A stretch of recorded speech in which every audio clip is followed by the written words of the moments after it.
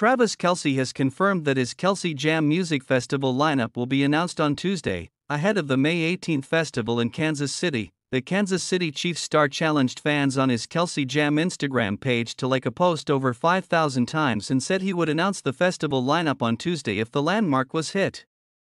The post soon struck 5,000 and the Kelce Jam account commented underneath saying, It's happening, lineup drops Tuesday.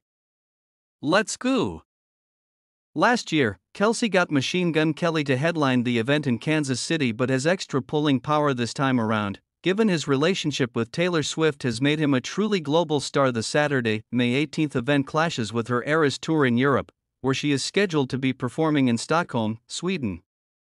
But fans were still speculating who Kelce could recruit to play, with one even going as far to suggest that Jason Kelce, Travis' older brother, is involved.